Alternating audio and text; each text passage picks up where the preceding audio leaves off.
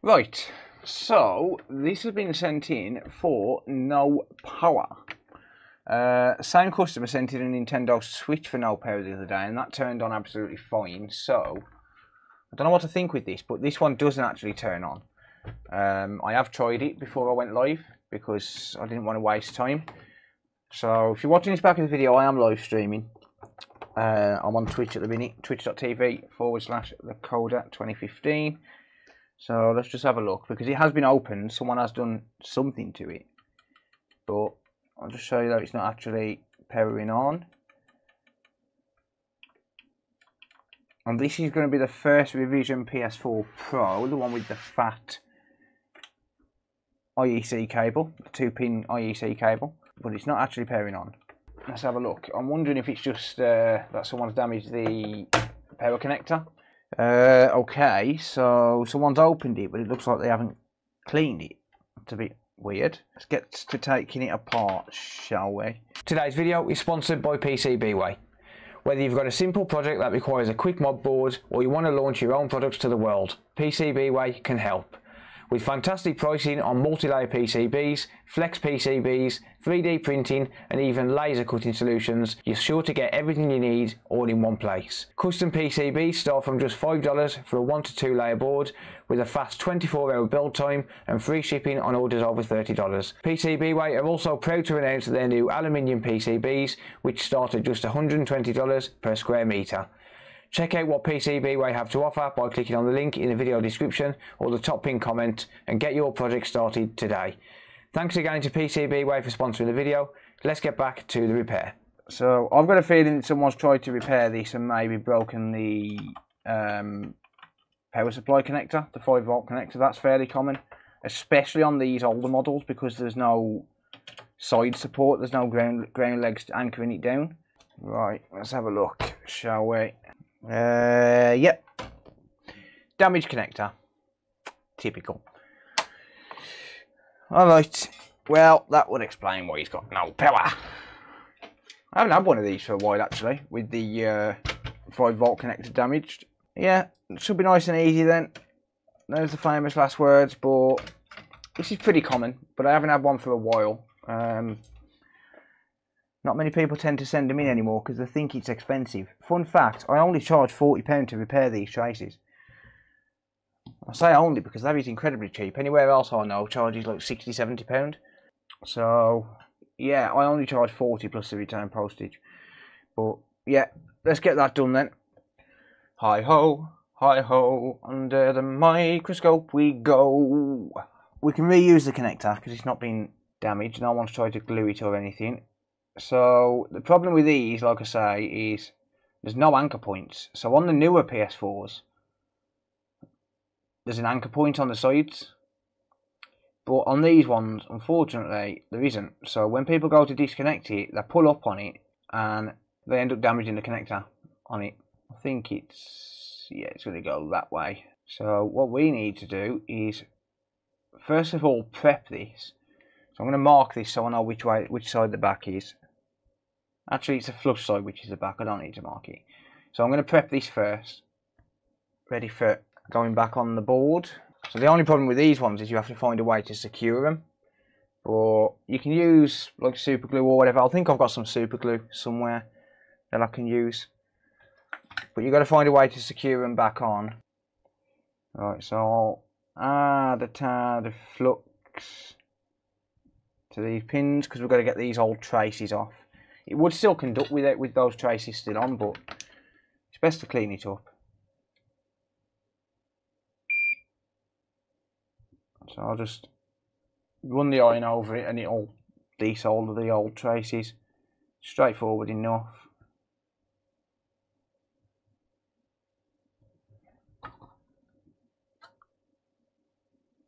Yeah, people think when they damage these boards, they're either a goner or they think it's going to be too expensive to fix. But no, really not. There we go. So that's prepped and ready. And next, we are going to need to prep the board ready for the port's arrival. We need to expose the wires where the traces are meant to run to So we've got this one here.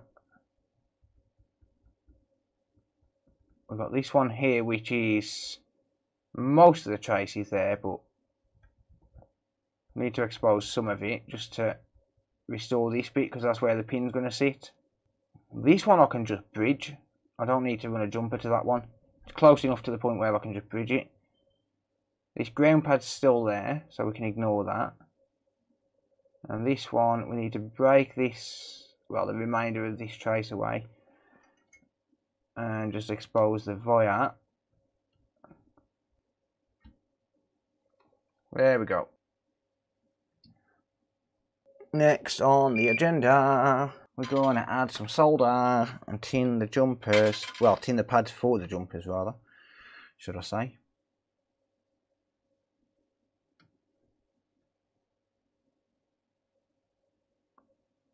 So there's the ground pad tinned. There's the 5 volt tinned, and then we've got these. I think these are signal lines. I don't know exactly what they are, but I'm sure they're just signal lines, but still need restoring because one of these pins tells the 12 volt to enable because the 12 volt doesn't enable until you turn the console on so it has to talk back to the power supply and do something I think it pulls a line down or something we're going to get some 0.1 mil jumper wire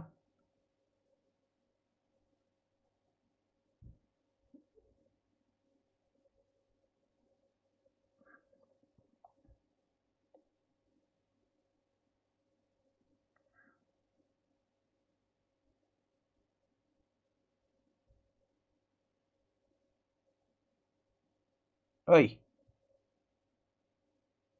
There we go. Damn thing didn't want to solder. I'll hold the jumper wire in place. And there we go. Now we've got a nice solid connection.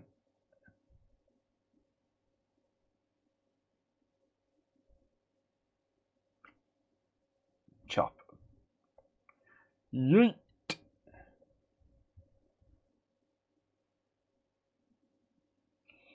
Right, trace numero two.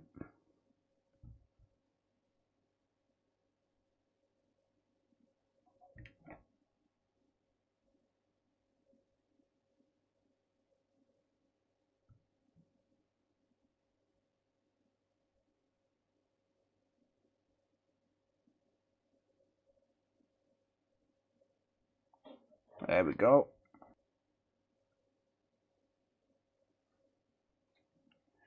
Right, so there's that one. Let's try and conform to the original trace. I don't think length matters, but I'll try and get it to the right length. There we go. And then the third one isn't going to make a difference because I can just bridge that one.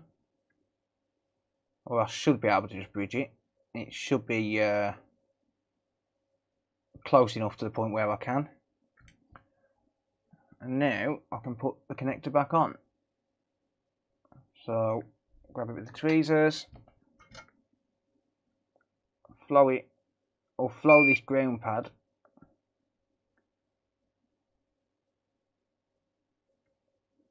I want to try and get it as close to being in the original position as I can.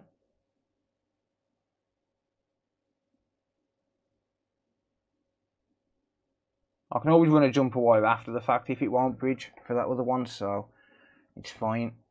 Damn it, go away jumper, uh, go away random pube. Oh, that stinks.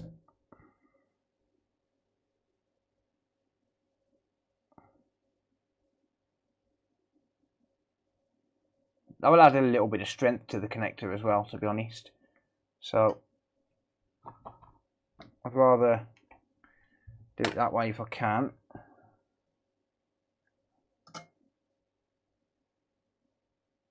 And then I can push down on the connector.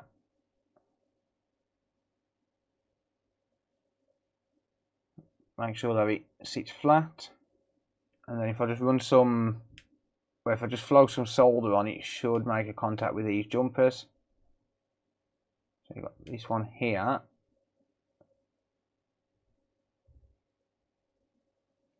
And then we've got this one just here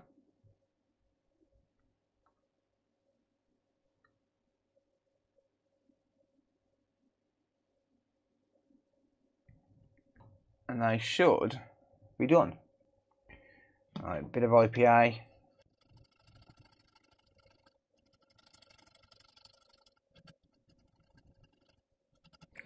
There we go.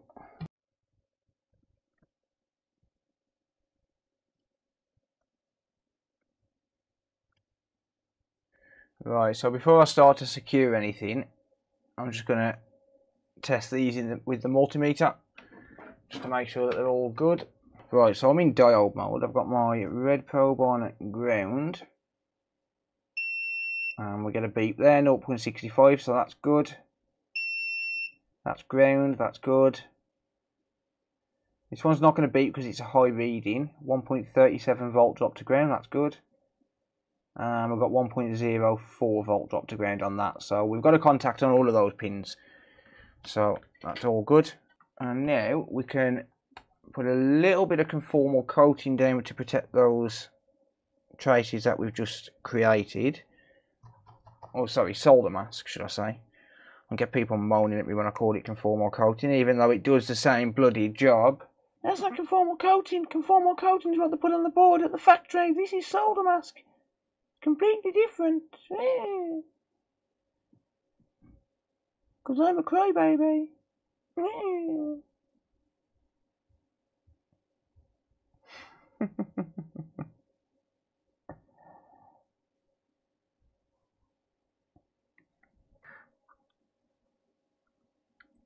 right, let's get a bit of heat on this. Not much, but just a little bit of heat to help the solder mask cure.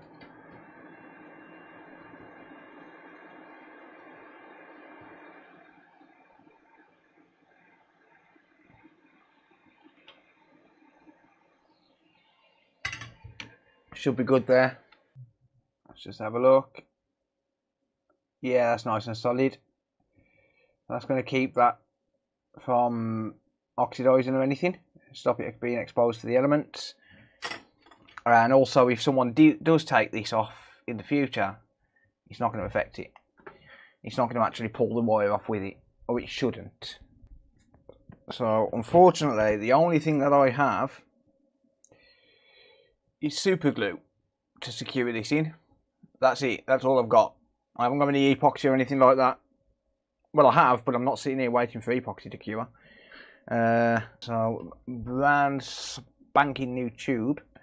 So, like I said, we need to secure this because the problem with these is there's no anchor point. So, on the other consoles, on the other PS5s, uh, sorry, PS4s, what we could have done is we could have recreated the ground points because they usually tear with the connector coming off. We could have recreated the, the ground points using some solder braid and then anchored it down with that and it would be absolutely solid. But with these, there is none, and that's one of the reasons they actually get damaged. But unfortunately, we need to find something to actually glue this down with. So I'm just going to use a bit of super glue. I don't want to use much because, well, I don't want to completely ruin the board. I'm just going to use a little bit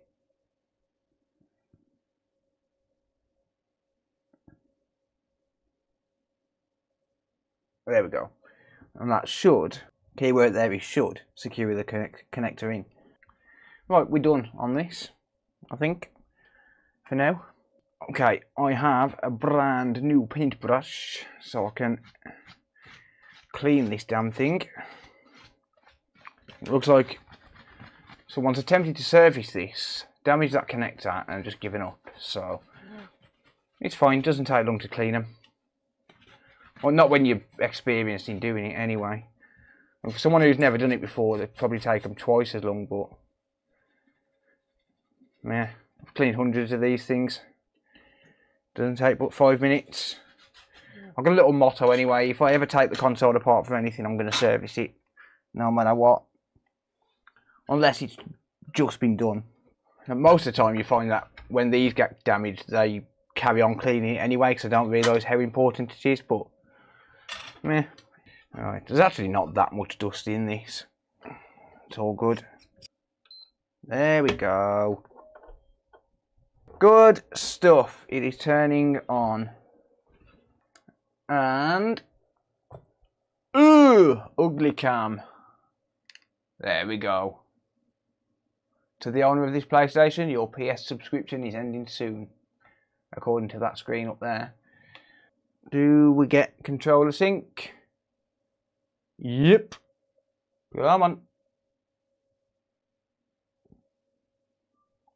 Right, there we go, that's working.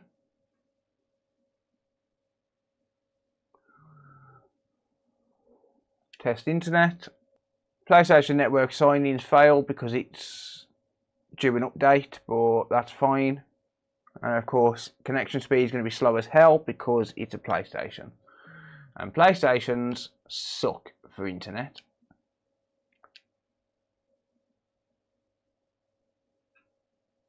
Uh, right, test internet on LAN. And yeah, okay, 69 megabits per second apparently we've got. Hey, Archer, you legend. Thank you, mate. How are you, buddy? Uh, right, so internet's working. It's recognising the disk drive. And it's a win because he doesn't have FIFA on here. So that's why this was fixable. Because FIFA's not installed. If FIFA was installed, you'd have no chance of fixing it. Absolutely no chance of fixing it if FIFA was installed. But yeah, that's working. Let's just make sure it works in 4K.